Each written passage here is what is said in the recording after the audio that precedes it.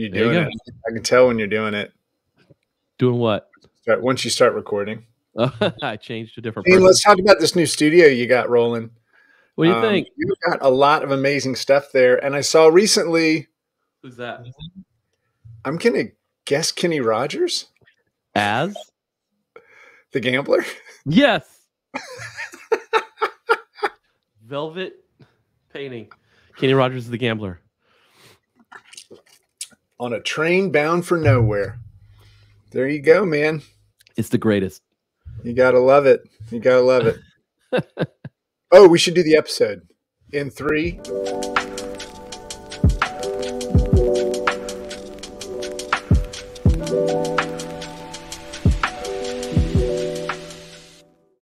Sorry. Miscue. Went a little early. Offsides. That's that's teamwork there, buddy. That's yeah. That's you do, you know you got an axe about to fall on your head? Chop. hey, congrats! I saw that you were uh, you made sensei. I don't know what any of that means, Wow, but it looked like a big deal. I'm glad you saw it. Yeah, it's a big deal to me. I appreciate that, man. Yeah. So Good. so now, can you levitate and shit or? Yeah. No? Yes. Nice. Do it right now. Levitate for me. Hold on. Hmm. Ah! Okay. That's yeah. cool. No, it's Um, awesome, man. I appreciate it. Wish you could have been there. It would have been cool.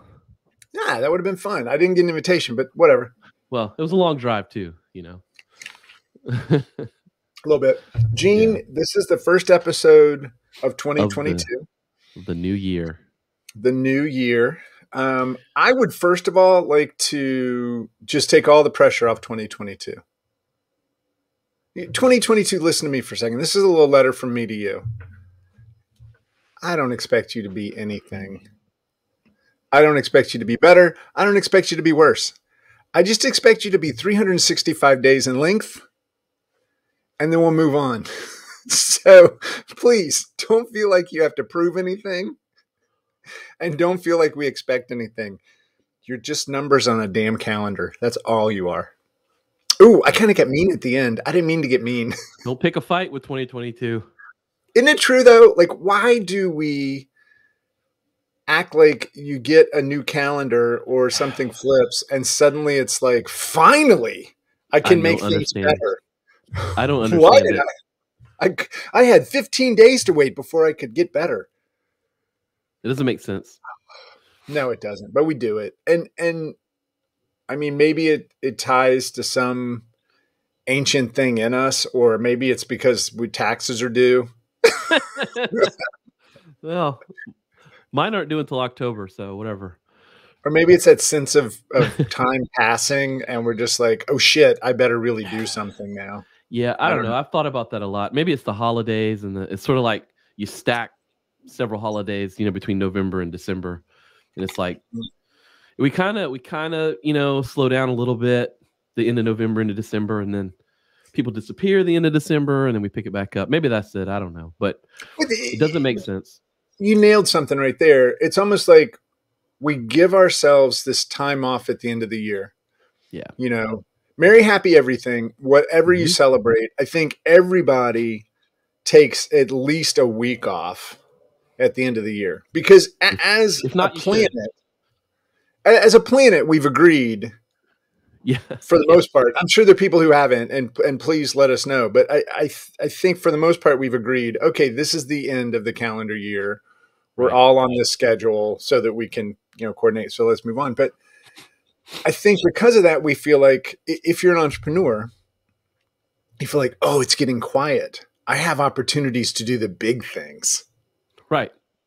and then you get mad at yourself the second day of the break because you haven't worked. Right? I mean, I know we kind of talked about this previously, but stuff. Yeah. So I'm curious because, I, I, first of all, this will be the newsletter this week. And I did a, a fair amount of research on business resolutions. Like, what are the what are the top Yeah. New Year's business resolutions? And I could only come up with 34. So we're not going to get through all of them. That's but before we dive into that, I'm curious, Gene, do you make personal New Year's resolutions? No, You don't. No. Tell me why. I hope I'm not turning your episode on its side. Um, I don't That's believe okay. in them. Okay. I don't believe in them. Um, because uh, it's- like we were saying, like your your body, the universe, it, it doesn't know time, right? It just it's just every day is another day. So what I like to do, and we do it, we just did it yesterday for uh, one of the businesses was.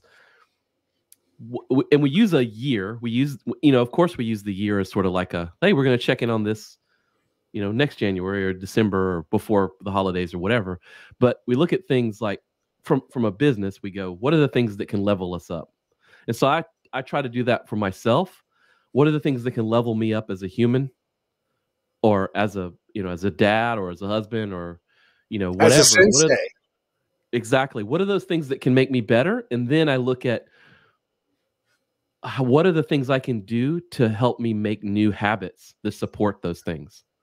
That's how i look at it. Um i don't I'm so because glad I you brought this up because I made a list of things that you could do to be better, and uh, I'd like to go through that. It's nothing. I, it's just a Oh, problem. i thought there were It's just a 40, 47 things. There probably are but that's the that's the key for me and i I, fi- I found early on that if i focus on worrying about not doing the things that are bad then all i do is sort of cycle and think about all these things that, that was bad that i was doing right or that i perceived as negative So that's an interesting sense? take. That's an interesting take that resolutions have to be about not doing something bad. Well, let, let's let take something that could be universally, I guess, thought of as bad, like drinking. Like, let's say you drink a lot and you want to You not you- drink. bite your tongue, sir. no, I'm with you. I'm If- with you. if I'm gonna you do is drink. I'm gonna drink less in the new year. Well, that's the thing. If, if all you think of is, oh God, I, I can't drink, you know, or, or, or if I drink this much, it's going to be bad, or this is negative that I drink this much, right? You're still, it's all negative, right? Instead of, instead of like, okay, so what's something I can do that's sort of like anti drinking? Like maybe it's running. Then you could focus on, I'm going to run a mile a day, right? And that's a positive thing as opposed to just focusing on why am I, why do I keep doing this bad thing? So You know, why and then you're in can't the cycle. run- of- why can't I'm going to run a mile a day be a resolution? It's just about changing something, right? It does. It's, so so. But this is interesting. Yeah. I, th- I think you're onto something that most people look at a resolution as removing a negative versus adding a positive. And, look, you can make a resolution anytime you want. Right. You could do it in April, you know, and I don't care if you want to use January 1st as like this kickoff day or whatever.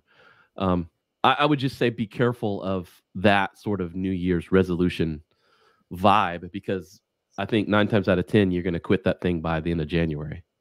I, I think that's that's true, and I think when you make it a specific thing, you make it a specific thing, and you go. I mean, let's take drinking, right? I mean, this was a big Mhm. one for a lot of people in Oh, 2020. it is.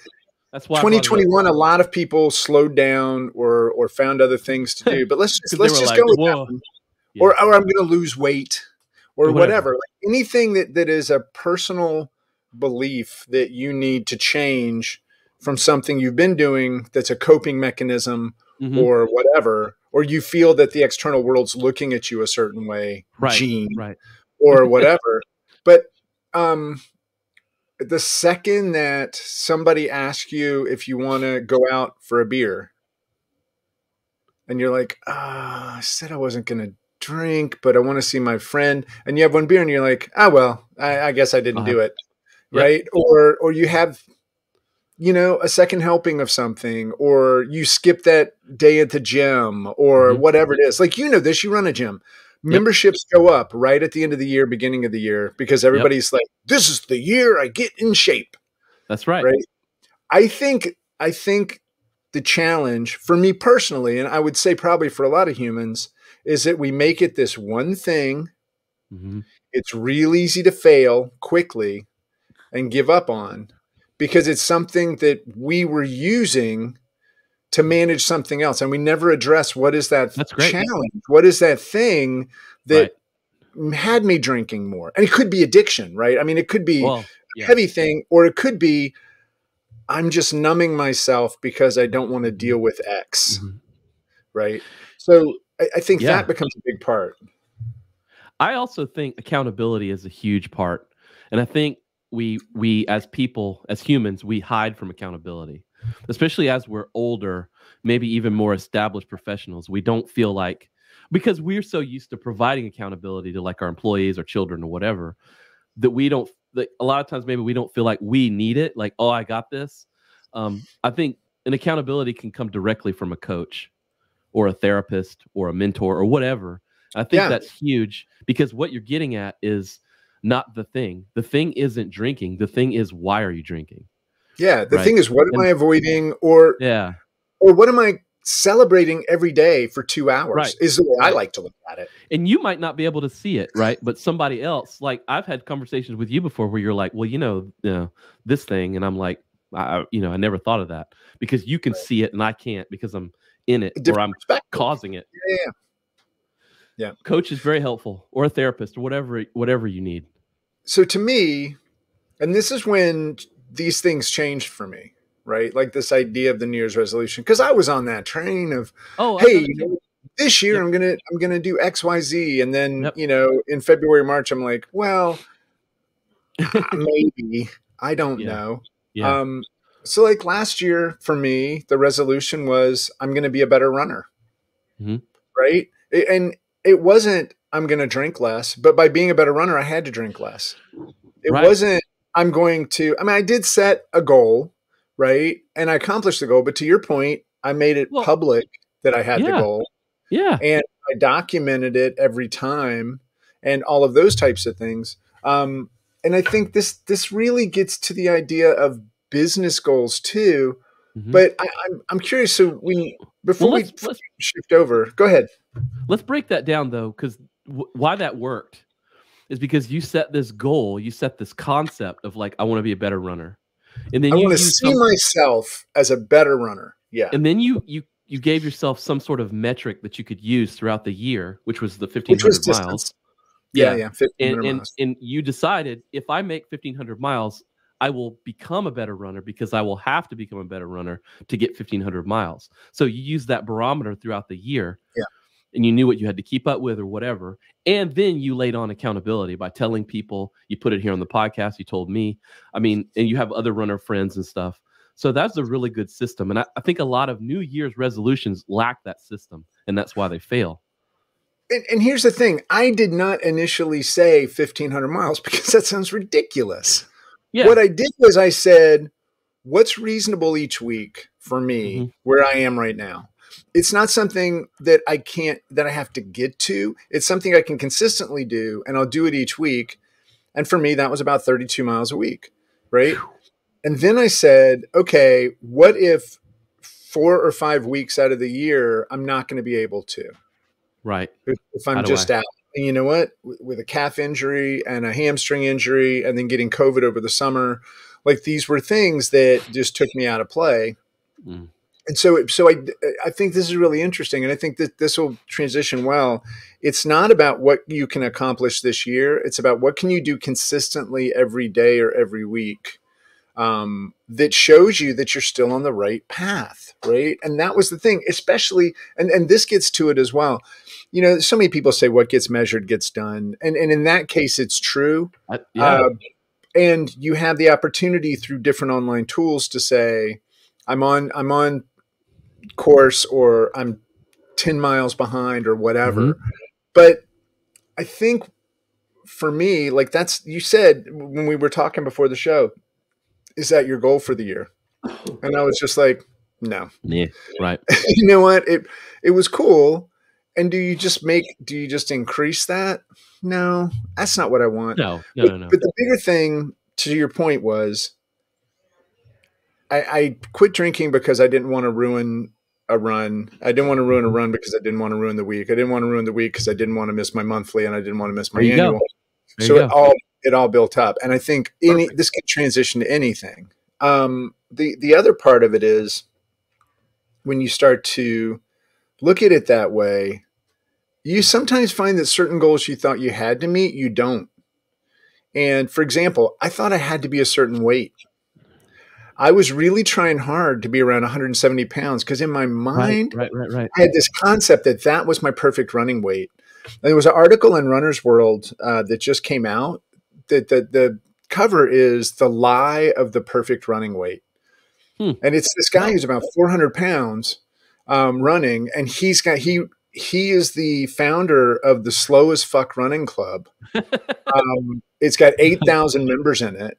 Whew. Well, I should And they're runners, man. It's like Yeah. it doesn't matter. But but to me, what I found was, and this was about three months ago, I quit tracking calories and I quit all that shit, and I ended up gaining about six pounds, and actually being a better runner. Like I had a false metric in my mind that things Right. were coordinated, but because I had a higher level goal, it like totally changed it. So Mm, I want to I want to shift over though because I, I want to I as much as I have personally reflected on what that was, um, I do have a new personal goal for this year. Ooh.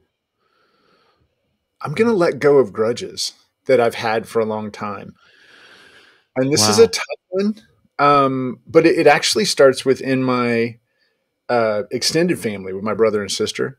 Um, And the first thing I did was I had conversations with them about why I had been so angry with them. Right. Hmm. So I think it, for me, the reason that was it, and, and it's such a shift from some sort of a physical accomplishment or whatever, is because when I looked at myself more as a holistic person, the things that hold me back are things I can't let go of. Hmm. Right. And that all transitioned through a lot of journaling and stuff into realizing that I'm holding on to some of this angst from the past. That's great. And in order to move forward, you've got to let go of that stuff. And uh, honestly, I'm not hurting anybody but me Hmm. when I'm holding on to these grudges. So it was funny at, it, at midnight. I didn't know this was going to happen, but we've been shooting off fireworks and stuff. And um, all of a sudden, Kaylee, my oldest, said, What's everybody's New Year's resolution? yeah. it's going to be to let go of grudges, which is just kind of funny. But luckily, everybody got distracted before it got to me. So that was that was out. good. But do you? So you don't have anything? I mean, you, No. there's nothing. Not really. Not that you'd call a New Year's resolution. Okay. Well, let's let's take a look at what it means when you're actually a, an entrepreneur and when you're a, a I'm going to say web shop, digital agency leader, if you're a founder, if you're running a team, whatever it might be. Mhm. Um, we transition this this idea into our roles as well in our companies. I mean, do you agree Mhm. with that? Yeah, absolutely. I think it's every year we're like, okay, we finished the year. This is what we Yeah. did. Oh yeah. Now we're going to look at this next year. It's it's a lot stronger, I think, than it is uh, for people individually when you look at it as an organization. is, and it's a team-based thing, and and I do think that it is. Uh, when you use it in your business, it is fiscally related. I think Yeah, most of the time because your billing year is over December thirty first, right? Like for most businesses, for most people. yeah, unless you're on that Yeah. weird July track or whatever. But like you still have tax I mean, in the U.S. You still have tax filings on the same dates. Yeah. You know, bills are due on the same time of the year. What? So yeah, it is. I think it relates around your income and how you record all that.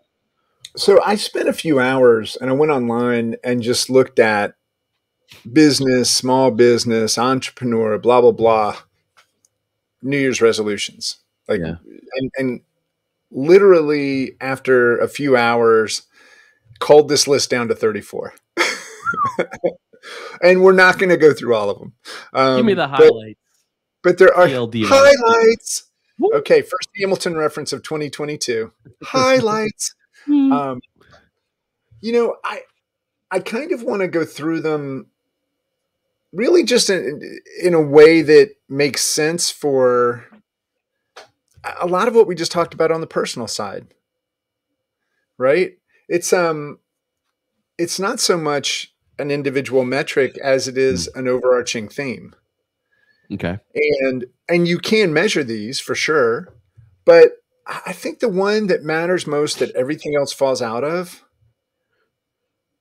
is delegate and mean it Mm, you know it's we're all it, just like i was saying with with the idea of, of a certain metric like i need to be lighter to be a better runner or whatever it's like no let go of that right that Mm. doesn't matter or the grudges right it's like why am i holding on to that it was a long time ago and it's preventing me from being who i can be now and i think with the delegate more and mean it it's you know what? First of all, everybody's struggling to keep their teams together. Mm. People more responsibility so that they can see themselves as a bigger player, so that they can feel like they're a part of what's going on. I Right. think that's kind of huge. But at the same time, you're not all that. You don't have to do every single thing. And and if you are all that, then why would you be spending all your time doing the small stuff? Mm. Right? And and so for example, for me, it's like I really have to let go of some of the the micro scheduling. I have to let go of being a part of every single thing that happens at the community. I mean, today for the first time, we're going to have roll calls coming back, which are based on what you do at your company, and they're being run by ambassadors, right? I'm there if they need me for these first few, but the Yeah. the plan is they're going to run them. They are the host. They are going to make them their own. And you know that's really hard for me Because- yeah. Oh, because yeah. I associate myself so much with everything that happens. But Right. the bureau is much bigger than me, and that I think is my for me personally. I think that's kind of my business thing is. Mm. I got to delegate and mean it. I can't just put on a happy face and say, no, no, you do that. And then be running around behind the scenes, like looking Right. at everything. Right. Reminding everybody- everybody. Yeah. I think that's Solid. that's probably the biggest one. Um, there's another one that I think is kind of related to it, um, and that's drop what's not working and move on. Wow. Yeah, that's that's very important. Yeah, I mean, there are things that we might have the urge to delegate, but then we just realize, actually, that shit doesn't matter at all. I saw a really great quote on like it was spray painted on a wall in uh somewhere up in North Carolina in the mountains. It said uh don't stick to a mistake you made you took a lot of time to make. Yeah. I was like, right? ow. I mean, how much that? we have Let's think things about that for a second. Go ahead. Oh, I was gonna say we have these things that we like we've just done in our business. Like we've always done it that way. But and we never stop to think like, well, why the hell are we doing that? And it's costing money or it's like useless. Like what why are you still doing it? You know? Yeah, figure that shit out. You know, we used to um this, this was a thing when I was at the advertising agency, and then I, I know a lot of shops that do this too. Yeah, and, and even with the advent of you know agile and all the things over the past five or ten years, people would have a a one all hands meeting, right? Yeah. And those meetings were almost always on Monday morning. Like in the Ugh. advertising game, they were almost always on Monday morning. And I remember one time uh, somebody at, at Husk, the agency I was at, said, Why do we do these the morning when we're the least knowledgeable about what's going on? Things have changed. We're trying to figure out. We sit here with 26 people and we say, I'm not sure, but I think like 10,000 times. it's like a if twelve we could just do dollar these if we could just do these on Tuesday mornings, we could have Mondays to figure out where things are, be prepared, come in, nail it, get out. And then Oof. we suddenly had AM Tuesday, which was agency meeting Tuesday. And you know what? Somebody said it. I think I think what you just brought up is great. There's so many times we're just doing things because we always did it. And that's part of letting go as well. Like It's part of growth, man. It's a growth, Yeah. growing as a person, as a company. What are we speaking of the, the great doing this? resignation. Speaking of the great resignation, if you uh have Monday morning meetings, you should probably stop that shit to stop people from leaving your company because I would Yeah. quit. I would quit, and I Oh, man. actually did because this company I was working with wanted to have an 8 a.m. Monday meeting. What the hell is that? I'm sorry, I can't get here at 8 a.m. on Monday. This is not happening. I'm trying. sorry. So I I got one more here. I know we're coming up on time, um, but I think delegate more and mean it That's is solid. huge. I think you know drop what's not working, move on, right? Because both of those really give us more time as entrepreneurs. Hmm. And I think the third one that mattered the most for me is fall back in love with what you do. You know, Oh. it's like now, now obviously that is a more of a, a, a statement and a goal, but it's like we all did this for a reason. We all Mhm. wanted to Mhm. create something. And we spent the Yeah. last two years trying to protect something that's not real anymore. Like if if there's something that we always did, and I I I believe this. Like I'm sure there are exceptions, but we always were adapting. We always were making the changes that were necessary because especially in digital, things were changing so fast.